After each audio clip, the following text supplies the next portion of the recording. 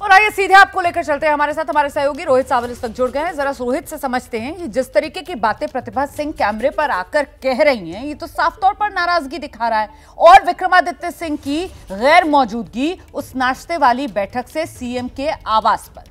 क्या मतलब निकाला जाए? बिल्कुल रोमाना, देखिए, प्रतिभा सिंह का ताज़ा बयान हिमाचल में जो सियासी संकट चल रहा था जिसको लेकर अब ये कहा जाने लगा था कि अब सब कुछ स्थिर है, लेकिन स्थिति बिल्कुल भी वैसी नहीं है। अब सीधे तौर पर मैं आपको बताऊँ तो अभी जो स्थिति है वो ये है कि प्रतिभा सिंह का जो ताज़ा बयान है, वो सिर्फ़ इशारा कर रहा है कि उनकी नाराज़गी अभी भी है, वो नाराज़गी दूर बिल्कुल नहीं हुई है। क्योंकि, और उन्होंने ये भी कहा कि गेंद पर्यवेक्षकों के पाले में है।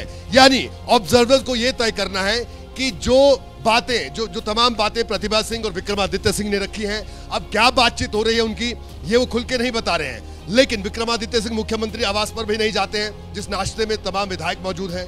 तो ऐसे में एक संशय ज़रूर बना हुआ है कि अभी भी विक्रमादित्य सिंह कैंप क्या फैसला लेता है और मैं आपको बता दूँ कि भारतीय जनता पार्टी इस सब में इतना ज़रूर साफ़ हो रहा है कि सीएम के तौर पर सुखवीर सुखविंदर सिंह सुखू ये प्रतिभा सिंह विक्रमादित्य सिंह और इनके कैंप को मंजूर नहीं ये साफ़ हो रहा है। लेकिन सवाल ये कि विक्रमादित्य सिंह का कैंप इस वक्त है या नहीं है? ये सबसे बड़ा सवाल है। क्योंकि छह जो बागी विधायक थे, वो निलंबित हो चुके हैं। अब वो कांग्रेस का हिस्सा नहीं। और ऐसे में बाकी बचे चौतीस में से तैतीस विधायक जो हैं, जिसमें खुद सीएम सुक्खू भी शामिल है, स्पीकर भी शामिल है, वो एक तरफ़ नज़र आ रहे हैं और विक्रमादित्य सिंह अलग नज़र आ रहे हैं। रोहित। बिल्कुल रोमाना देखिए विक्रमादित्य सिंह की अगर बात करें तो चार विधायक उनके साथ हैं जिनको कहा जा सकता है आ, कि वो आ, उनके कैंप में हैं। लेकिन देखिए अब बारी आती कि वो मुख्यमंत्री के नाश्ते पर गए।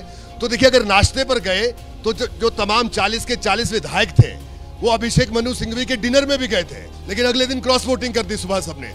तो नाश्ते पर जाना और सरकार में रहना नहीं रहना ये दोनों अलग अलग चीज़ें हिमाचल की राजनीति में इस वक्त इसको इसी तरीके से देखने की ज़रूरत है। क्योंकि प्रतिभा सिंह का भी ये बयान देना, इस वक्त ये बयान देना जब बत्तीस तमाम विधायक सुखविंदर सिंह सुक्खू के आवास पर पहुँच गए और ये कहना कि हमने अपनी बात रख दी है, अब पर्यवेक्षकों को तय करना है। हमने, हमारी नाराज़गी सबके सामने है, अब पर्यवेक्षकों को तय करना है। पर्यवेक्षकों को क्या तय करना है? पर्यवेक्षकों को यह तय करना है कि जो डिमांड प्रतिभा सिंह और विक्रमादित्य सिंह ने रखी है वो उसको मानेंगे या नहीं मानेंगे। उनकी डिमांड सीधी है। सुखविंदर सिंह सुक्खू को नहीं चाहते कि मुख्यमंत्री की कुर्सी पर रहे। हम्म। तो ऐसे में अभी भी जो आसम जैसा है वो बरकरार है।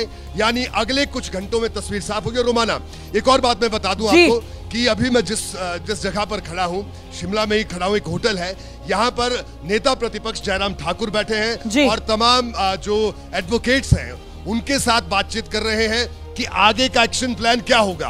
कोर्ट जाया जाएगा आ, किस तरह से जाएगा पिटीशन कहाँ दाखिल की जाएगी हाई कोर्ट जाएँगे सुप्रीम कोर्ट जाएँगे या जनता की अदालत में जाएँगे। क्योंकि आज बागी विधायकों के संदर्भ में जिनकी सदस्यता रद्द की गई है उसके संदर्भ में आप बता रहे रोहित? बिल्कुल बिल्कुल बिल्कुल। क्योंकि देखिए अब वो छह विधायक बीजेपी की ज़िम्मेदारी हो गई है, ठीक है। उनकी सदस्यता चली गई। उन्होंने क्रॉस वोटिंग की। कांग्रेस के साथ वो नहीं है, विधानसभा के सदस्य नहीं है।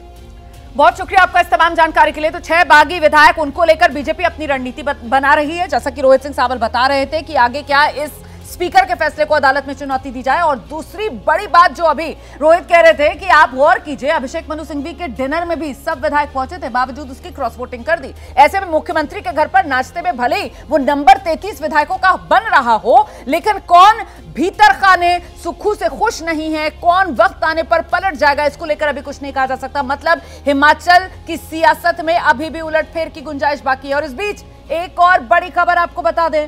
खबर सामने आ रही है शाम पाँच बजे। सुखू कैबिनेट की बैठक होगी। ये इस वक्त की बड़ी खबर है। हिमाचल के सियासी संकट के बीच इस वक्त की बड़ी खबर शाम पाँच बजे। मुख्यमंत्री सुखविंदर सिंह सुखू ने कैबिनेट बैठक बुलाई है।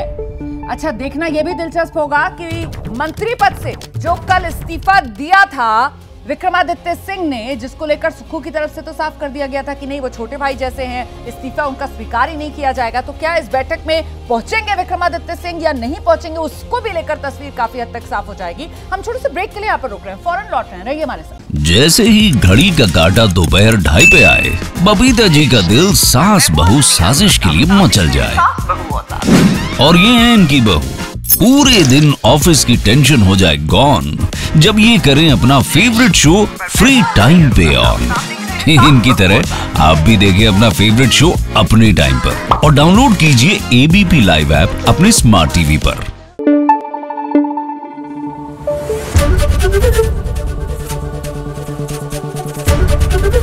एबीपी न्यूज़ आपको रखे आगे.